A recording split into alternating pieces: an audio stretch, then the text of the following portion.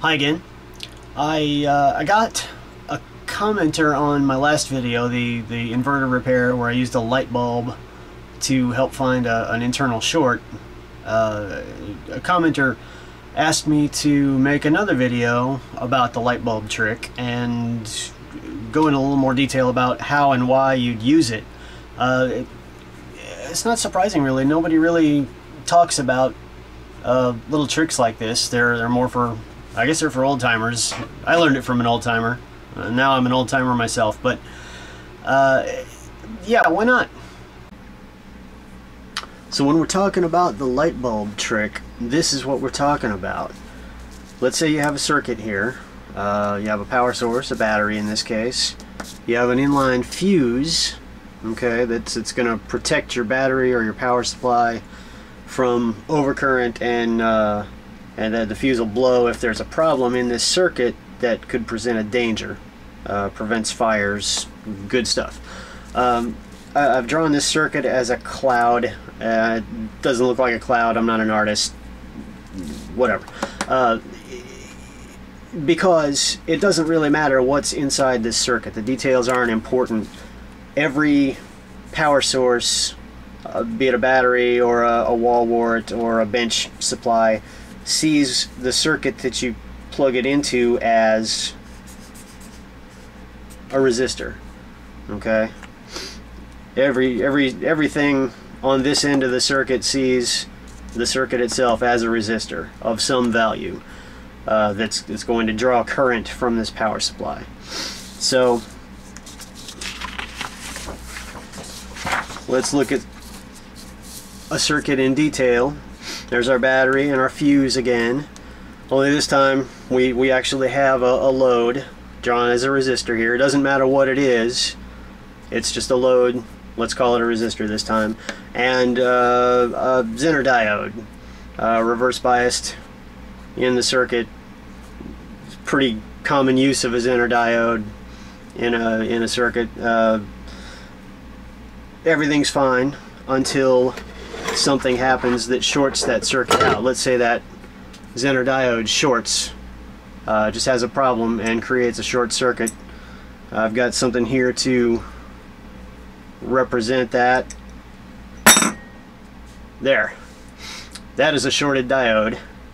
And uh, now what we have is all of our energy from our battery going through our fuse and through our short back to ground short circuit in a big way. The fuse, uh, only rated for a relatively small amount of current, and the wrench, rated for a very large amount of current, let's say, the fuse is going to give up and blow and uh, protect your battery or your power supply, whatever.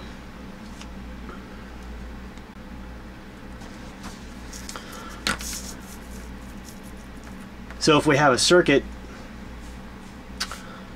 with a short, we, we open it up and we find it's got a blown fuse. What we can do is uh, we can measure, measure around with our meter probes like this and we'll come up with uh, ordinarily we'll, we'll find the short this way uh, we'll measure zero ohms or our continuity tester will beep and uh, a short like this a shorted diode is really easy to find. Uh, but let's say we have a circuit that only shorts out when other components power up. Uh, some some TVs used to be like that because they had a low voltage side and then they had a uh, high voltage side and until you power that thing up it was pretty tricky to find the short circuit in the secondary side, the high voltage side. Uh, you might have a bad flyback transformer and it occasionally arcs inside the transformer windings. You can't see it, but all you know is intermittently the the set blows its blows a fuse every now and then for no reason at all. You put a fuse in it, it powers right back up again. But uh, for tricky problems like that, just take the fuse out and take your light bulb in this case we'll call this a 12 volt circuit we'll use our, our brake light our 12 volt light bulb and just connect it to the two terminals of the fuse holder and power the thing up. It's safe to power it up. We know we're not going to blow a fuse. We don't have a fuse in there. But if we if we have a short, we get a bright light. This this thing is going to light up and glow really bright.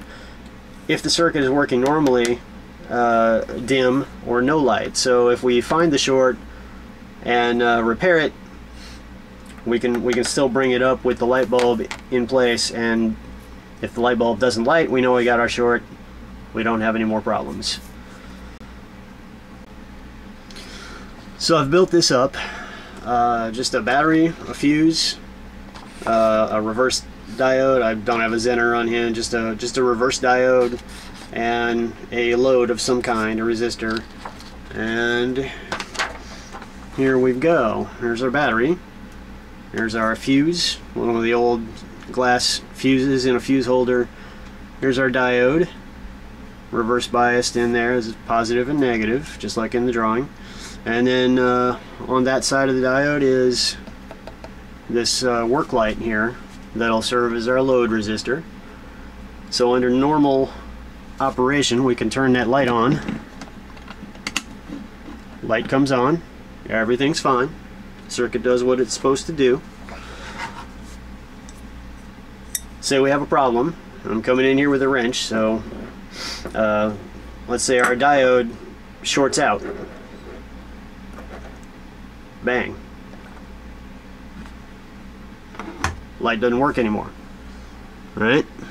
So our fuse blew. It didn't. I was hoping for more of a spectacular flash, but that uh, that fuse is in fact blown. Right. That is a blown fuse. Right? We can prove the, the fuse is blown. This is another thing I talked about in an earlier video. That of uh, voltage drop. If you've got a completely open circuit, like a switch turned off or a switch that's gone bad or a blown fuse, you can measure the voltage drop across that component and you see in this case we see 12.7 volts our entire voltage supply the entire uh, just just just as if we were measuring across the terminals of the battery we see our entire supply voltage across that junction there. So that fuse is bad uh, when that when our wrench diode shorted. It blew everything out. So now we can pull that fuse out.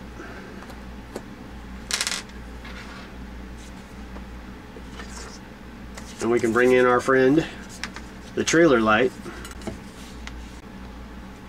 So we'll take our trailer light and take the two leads from it and we will uh, we'll connect one side of the light bulb to one side of the fuse holder and the other to the other side of the fuse holder now with uh, with a short on that side of the fuse holder with our wrench in place that is Alright, there's our short. We're going to see all 12 volts across that fuse holder. Ground on that side, 12 volts on this side. And our light's going to come on. So let's hook up our battery. Aha! So we've got a short. So that's where you start your detective work. You get the circuit powered up and you can go measure uh, measure components and what you'll find eventually if you haven't had any luck with the other method of, of uh, measuring resistance you're going to find a component like a diode or something like that that measures uh, uh, the voltage drop across the component measures zero like this wrench does and I can I can I can of course put my meter probes across this wrench and it's going to measure zero volts across it because it's a dead short.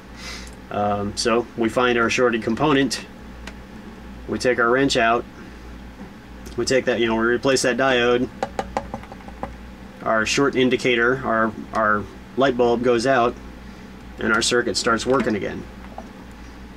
Right? Shorted? Not shorted. Shorted? Not shorted. That was fun. Hope you enjoyed that. Uh, give me a, a like or a subscribe to my channel or, or whatever. Thanks for watching.